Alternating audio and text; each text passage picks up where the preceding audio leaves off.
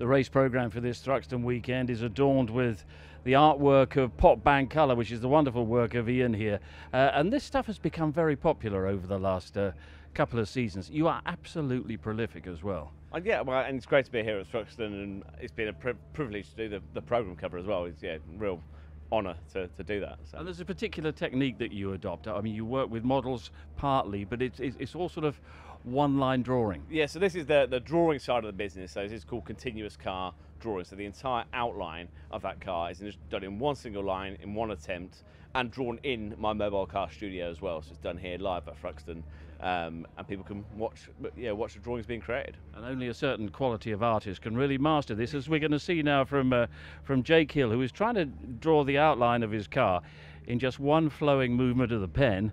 Uh, and Jake, actually, actually, it's not a bad effort, Jake. This is more side on than uh, than than Ian's um, creation, uh, but it's pretty terrible to be honest, Steve. But we're giving it a go.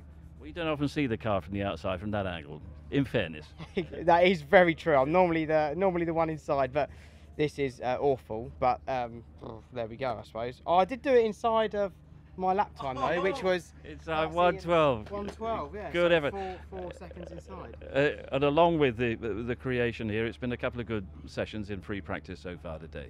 Yeah, it's been a, a big, a good start to the day. It was second in FP1 and third in FP2. So yeah, feeling really good for qualifying now, coming up shortly. But yeah, just uh, happy my little rocket ship's going well. Yeah, and the feelings when you come back here, you had that wonderful meeting here where you followed Josh Cook home in two races and so on. You've really kept that momentum going, you feel? Yeah, for sure. We've, I mean, especially since the summer break, we've had some really good, uh, good results. You know, Knockhill was amazing, massive haul of points, and then Snetterton was also pretty good, coming in second uh, twice, unfortunately, to my teammate Colin. But nonetheless, it's been uh, been good fun, and we're just trying to keep up that momentum now. Championship now. What's the plan?